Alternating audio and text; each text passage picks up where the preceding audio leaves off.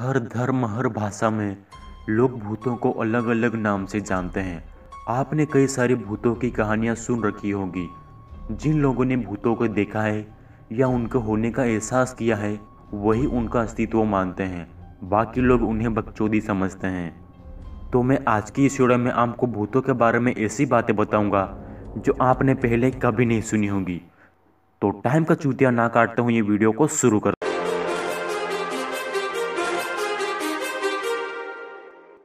Too many thoughts on my mind, I can't sleep at night, so I just keep writing.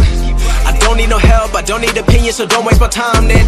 I just been living online, my city don't show me no love, and that's fine. अक्सर आपने देखा होगा कि लोग भूतों का ज़िक्र सिर्फ़ रात को ही करते हैं पर रात में ऐसा होता है क्या है कि भूत सिर्फ़ रात को ही निकलते हैं शायद आपको यह बात पता नहीं होगी कि रात के समय में इलेक्ट्रॉनिक ऊर्जा का प्रमाण कम रहता है यही कारण है कि वो अपनी ताकत का ज़्यादा इस्तेमाल कर पाते हैं और यही कारण है कि भूतों का हर किसी चीज़ पर रात के समय में ज़्यादा नियंत्रण बना रहता है। ऐसा भी माना जाता है कि भूत सिर्फ़ कुछ ही लोगों को दिखाई देते हैं।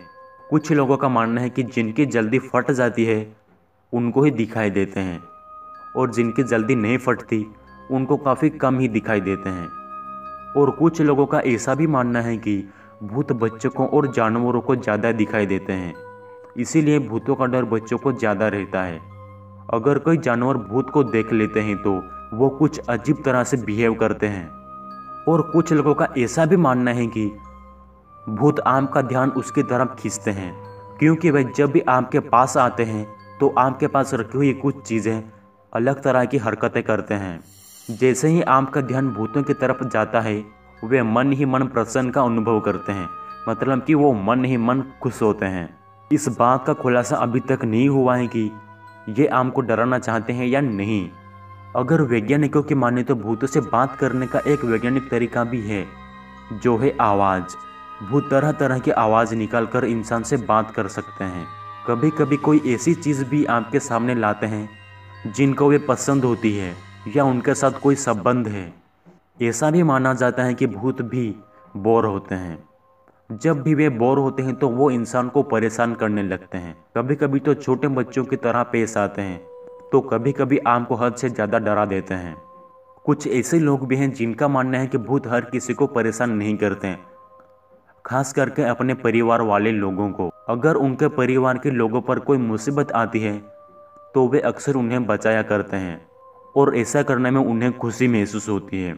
अगर आपसे कोई सवाल करे कि भूत सबसे ज़्यादा किस देश में दिखाई देते हैं तो सबका यही जवाब होगा कि भारत देश और भारतीय लोगों को। एक रिपोर्ट में एक बात सामने आई है कि जो लोग ऑफ़िस वर्क करते हैं, उन्हें सबसे ज़्यादा भूत दिखाई देते हैं। ऐसे लोगों ने सबसे ज़्यादा दावा किया है कि उनको भूत दिखाई देते हैं या महसूस होते हैं। सो so गाइज़ मैं आशा करता हूँ कि आपको यह वाली वीडियो पसंद आई होगी। और हाँ दोस्तों, अब एग्ज़ाम्स भी आ रहे हैं, इसलिए दोस्तों मैं वीडियो थोड़ी लेट डालूँगा, लेकिन डालूँगा ज़रूर। तो मैं आशा करता हूँ कि आपको ये वाली वीडियो पसंद आई होगी। अगर आपको ये वाली वीडियो पसंद आए तो प्लीज़ यार ज़रूर से लाइक कर देना और कमेंट भी ज़रूर कर देना। तो मिलते हैं मेरी अगली वीडियो में, तब तक के लिए take care and bye from a town where most of the people are so close-minded. They go into school and they work in a job, but they don't even like it. I won't be put in a box. Nobody telling me what I should rock. Nobody telling me what I should drop. Cause I do what I want and just know I don't stop. Recording till four in the morning, they snoring.